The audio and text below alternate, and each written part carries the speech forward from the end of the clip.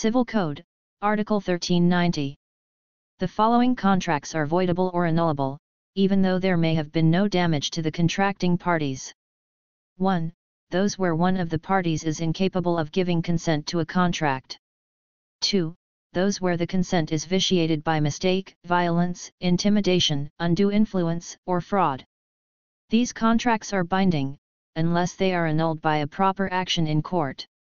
They are susceptible of ratification. This is Legal Philippines.